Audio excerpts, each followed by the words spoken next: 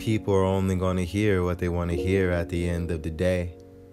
Not much importance is assigned to the words that I say, but instead it's given to the way that I convey what I feel.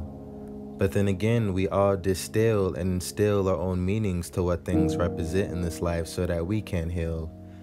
However, the subjectivity of the human experience results in different interpretations, and when our beliefs often collide, we usually break them open to see what's inside within the frame of our conversations. But people have forgotten how to communicate, so the rate in which most people assimilate information has dramatically decreased along with our measures of patience.